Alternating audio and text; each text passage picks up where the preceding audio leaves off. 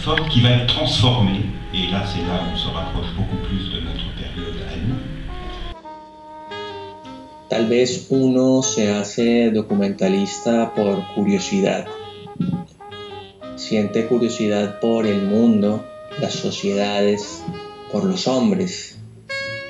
Pero creo que la curiosidad no basta. Hay que tener ganas de contar historias.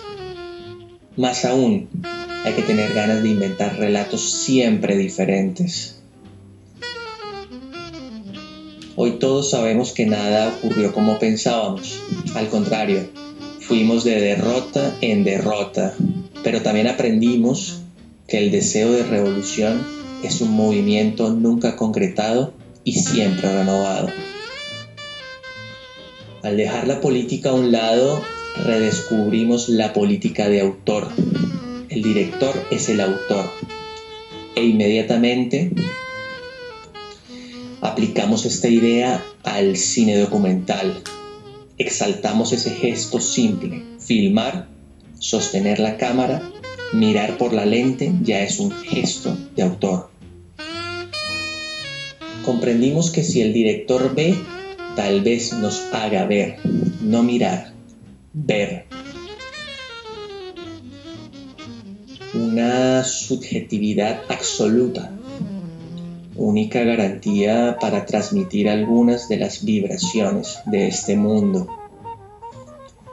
Nos han querido encasillar la ficción con F mayúscula como un género mayor, el verdadero cine, el documental es un asiento plegable, un estribo antes de confrontarse al gran arte. Hemos terminado con esas viejas ideas. El cine es uno. La dirección existe tanto en el documental como en la ficción. Luchamos con nuestros personajes como todos los directores. Pensamos el guion como un arco, aunque recién leamos nuestros guiones cuando la película está terminada.